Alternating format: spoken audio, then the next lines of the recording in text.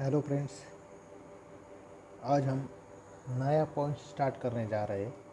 वो मतलब types of utility so following are some of the different types of utility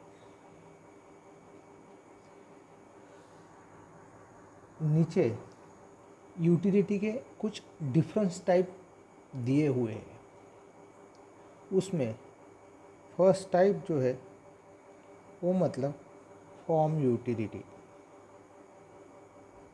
So form utility is when utility is created due to a change in the shape और structure of an existing material it is called as form utility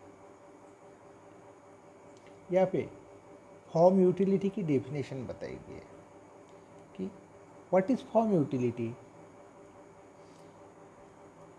तो कि जब कोई community रहती है, या कोई material existing material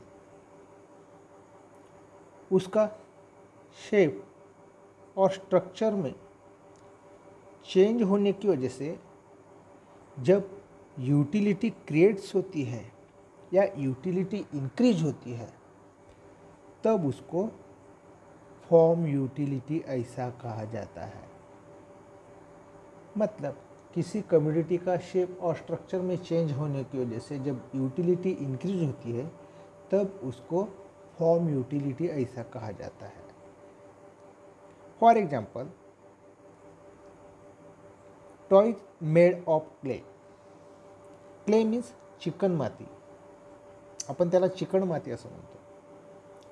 तो ये जो टॉय, क्ले क्ले है, इस क्ले से बने हुए टॉय टॉय मीन्स जो छोटे बच्चे रहते हैं, उनके खिलौने। Furniture from woods etcetera wood से बना हुआ फर्नीचर नीचे फिगर दिए 2.1 फिगर तो इस फिगर में दिखाई दे रहा है अपने को, ये जो वुड है, इस वुड से बना हुआ एक टेबल, कुर्सी है टिपॉय है, ये सब। मतलब देखिए, उड़ को, उड़ का स्ट्रक्चर चेंज किया, उसको शेप दिया। इसकी वजह से हम कुर्सी का इस्तेमाल करते हैं, टेबल का इस्तेमाल करते हैं टिपॉय का इस्तेमाल करते हैं। मतलब किसी कम्युनिटी के शेप में चेंज होने की वजह से या उसका स्ट्रक्चर चेंज होने की वजह से जब यूटिलिटी इंक्रीज होती है, तब उसको फॉर्म यूटिलिटी ऐसा कहा जाता है। ये फ़र्स्ट टाइप हुआ। अब नेक्स्ट सेकेंड वाला टाइप जो है, वो मतलब place utility when utility of a community increase due to a change in its place, it is called place utility place utility मतलब कि प्लेस चेंज होने की वजह से। प्लेस चेंज होने की वजह से जब कम्युनिटी से मिलने वाली यूटिलिटी जो है, वो इंक्रीज होती है, तब उसको प्लेस यूटिलिटी ऐसा कहा जाता है।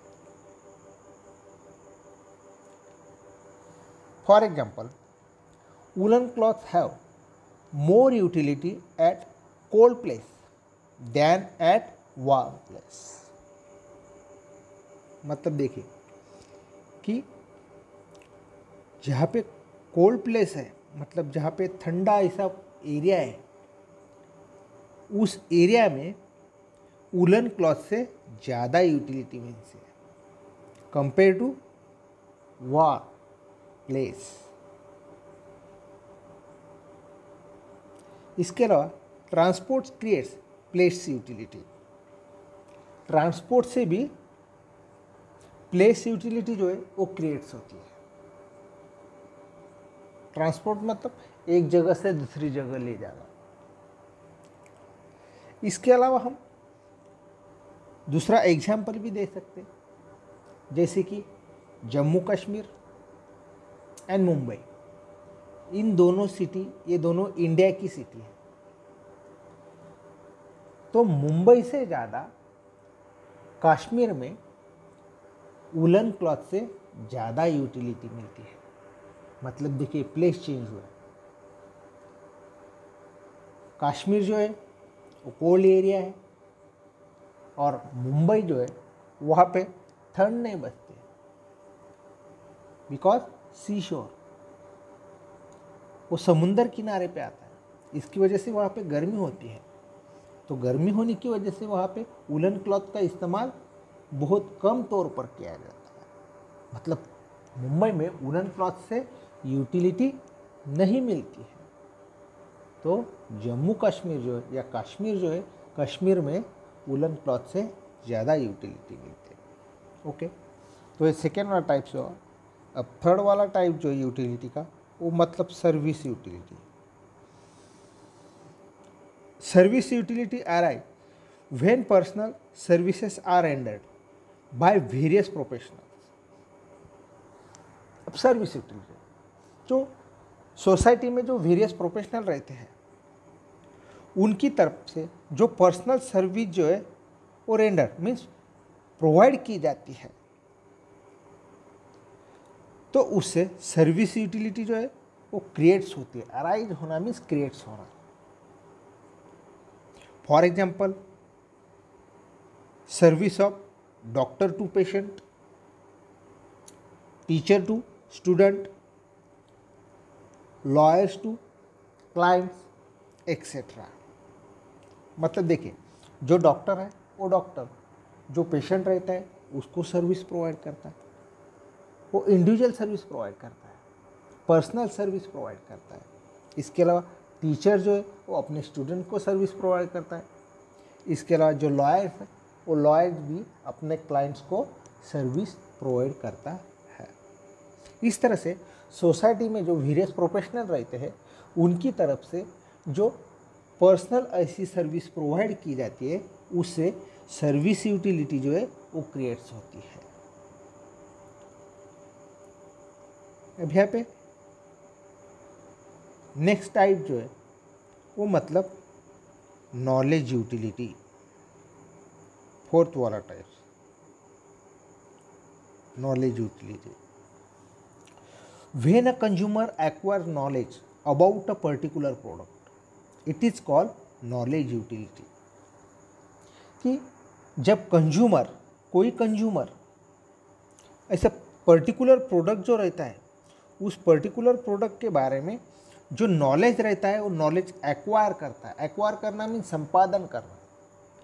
वो नॉलेज एक्वायर करता है तो उसको नॉलेज यूटिलिटी ऐसा कहा जाता है। तब यहाँ पे पर्टिकुलर प्रोडक्ट मतलब for example utility of of mobile phone और computer increase when a person know about its various functions बहुत सिंपल ऐसा एग्जांपल दिया है कि एग्जांपल क्या दिया हुआ है कि कोई a mobile phone mobile phone हो या कंप्यूटर हो, उसके तो वेरियस फ़ंक्शन है। उन वेरियस फ़ंक्शंस के बारे में नॉलेज एक्वायर करना मीन्स नॉलेज यूटिलिटी सपोज़ हम मोबाइल फ़ोन के बारे में जब अननोन थे और उस वक्त हमको मोबाइल दिया गया और मोबाइल के बारे में कोई, अपने को कोई भी नॉलेज नहीं ज़ीरो नॉलेज है, ऐसा मान लीजिए। तो हमको मोबाइल कैसे इस्तेमाल किया जाता है। उसके बारे में अगर हमको कोई मालूम ही नहीं है, तब हम उस मोबाइल फ़ोन में उसके जो वीरियस फ़ंक्शंस है, उनके बारे में हम खुद होके जानते हैं। जैसे कि मोबाइल फ़ोन किस तरह से स्टार्ट किया जाता है किस तरह से कॉल किया जाता है, किस तरह से नंबर सेव किया जाता है, किस तरह से रिकॉर्डिंग की जाती है, किस तरह से पिच, फ़ोटो निकाले जाते हैं, किस तरह से वीडियो क्रिएट किए जाते हैं एंड अदर ऐप्स इन सब के बारे में जब हम नॉलेज एक्वायर करते हैं, संपादन करते हैं, तब उसे नॉलेज यूटिलिटी जो है, वो क्रिएट्स होती है। अब नीचे देखिए, नीचे डायग्राम दी है फिगर दी हुई है। उसमें जो छोटा बच्चा है, वो अपने नानी के पास बैठा है और उस नानी से, उस नानी को वो मोबाइल फ़ोन के बारे में नॉलेज दे रहा है। ओके तो ये हुआ नॉलेज यूटिलिटी अब नेक्स्ट टाइप जो है फिफ्थ वाला, वो मतलब position utility so position utility arrive when the ownership of goods is transfer from one person to another अब पोजीशन यूटिलिटी कि एक पर्सन की तरफ़ से दूसरे पर्सन की तरफ़ जब किसी गुड्स की जो ओनरशिप है ओनरशिप मीन्स मालकी हक का। वो ओनरशिप जब ट्रांसफ़र होती है, तब उससे पोजेशन यूटिलिटी जो है, वो क्रिएट्स होती है। मतलब किसी कम्युनिटी की ओनरशिप एक पर्सन की तरफ़ से दूसरी पर्सन की तरफ़ ट्रांसफ़र होना, इसको पोजेशन यूटिलिटी ऐसा कहा जाता है। For example transfer of goods from the seller to the buyers देखिए एग्ज़ाम्पल और नीचे डायग्राम भी दिए हुए उसमें भी हमको दिखाई दे रहा है कि जो फ्रूट सेलर है, उस फ्रूट सेलर की तरफ़ से जो कंज्यूमर है, वो कंज्यूमर एप्पल हो या अदर फ्रूट्स हो, वो परचेस कर रहे हैं। जब तक वो परचेस नहीं कर पाते मतलब उस फ्रूट्स के ऊपर की जो ओनरशिप है, वो ओनरशिप सेलर की तरफ़ से जब तक बायर्स की तरफ़ वो ट्रांसफ़र नहीं होती, तब तक पोजेशन यूटिलिटी जो है, वो क्रिएट्स नहीं हो पाती। तो पोजेशन यूटिलिटी कब क्रिएट्स होती है कि जब बायर सेलर से किस, कोई कम्युनिटी या कोई फ्रूट्स हो या कोई कॉमोडिटी हो, वो परचेस करता है, तब उससे पोजेशन यूटिलिटी वो क्रिएट्स होती है। ओके अब आखिरी वाला टाइप्स है। यूटिलिटी का, वो मतलब time utility.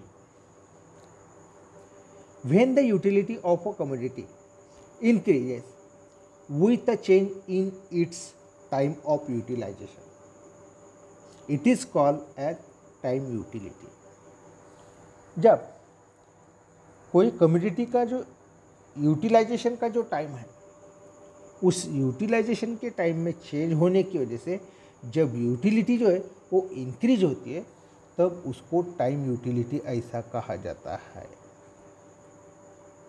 मतलब कम्युनिटी का इस्तेमाल करने का जो टाइम है, उसमें चेंज होने की वजह से यूटिलिटी इंक्रीज होती है, तब उसको टाइम यूटिलिटी ऐसा कहा जाता है। For example a student has more utility for the for text textbook during examination than in the vacations. बहुत आपसे रिलेटेड एग्ज़ाम्पल यहाँ पे दिया हुआ है कि जो एग्ज़ाम का पीरियड रहता है, उस पीरियड के दौरान स्टूडेंट को टेक्स्ट बुक से ज़्यादा यूटिलिटी मिलती है। क्यों? क्योंकि उस वक्त वो उस टेक्स्ट बुक से अपना स्टडी करता है। और जब वैकेशन रहते हैं जब छुट्टी का पीरियड रहता है, उस छुट्टी के पीरियड में स्टूडेंट जो है, वो टेक्स्ट बुक का इस्तेमाल करता है क्या? उस वक्त, उस टेक्स्ट बुक में उसको यूटिलिटी दिखाई देती है क्या? वो क्या सोचता है कि छुट्टी है तो छुट्टी का इस्तेमाल हमने खेल कूद में करना चाहिए। उसकी वजह से वो स्टडी नहीं करता है। मतलब उस टेक्स्ट बुक का इस्तेमाल नहीं करता है। देखिए टाइम चेंज हुआ। एग्ज़ाम पीरियड और वैकेशन ओके इसके अलावा time utility is also observe when goods are store and use at the time of scarcity for example blood bank देखिए, यहाँ पे टाइम यूटिलिटी का और दूसरा एग्ज़ाम्पल दिया हुआ है कि जब गुड्स जो है वो उस गुड्स को स्टोर करना मतलब उसको संभाल के रखना। और उसका इस्तेमाल जिस वक्त स्कार सिटी होंगी मतलब जिस वक्त उस चीज़ की कमतरता होगी, उस वक्त उस चीज़ का इस्तेमाल करना। देखिए टाइम चेंज हुआ। जिस वक्त वो चीज़ या वो कम्योडिटी बहुत बड़े तौर पर अवेलेबल है उस वक्त वो चीज़ अपने पास संभाल के रखना और उसका इस्तेमाल जिस वक्त वो चीज़ नहीं होंगी या नहीं, बाज़ार में नहीं मिलते होंगी, उस वक्त उसका इस्तेमाल करना। For example blood bank. बहुत बढ़िया एग्ज़ाम्पल दिया है। इसके अलावा, नीचे भी एग्ज़ाम्पल दिए हुए हैं। देखिए, ये ये वाला एग्ज़ाम्पल दिया है। ये समर का एग्ज़ाम्पल है। इसके अलावा ये रेनी सीज़न का एग्ज़ाम्पल है। इसके अलावा ये विंटर सीज़न का एग्ज़ाम्पल है। मतलब देखिए, ये जो तीनों सीज़न है, उस तीनों सीज़न में किस तरह से यूटिलिटी जो है, वो चेंज होती है। मतलब जो कोल्ड सीज़न है सॉरी जो समर सीज़न है, उस समर सीज़न में जो कोल्ड चीज़ें हैं उन कोल्ड चीज़ों का इस्तेमाल करना, जैसे कि आइसक्रीम हो। इसके अलावा ये जो रेनी सीज़न है, उस रेनी सीज़न में अम्ब्रेला अम्ब्रेला का इस्तेमाल करना। इसके अलावा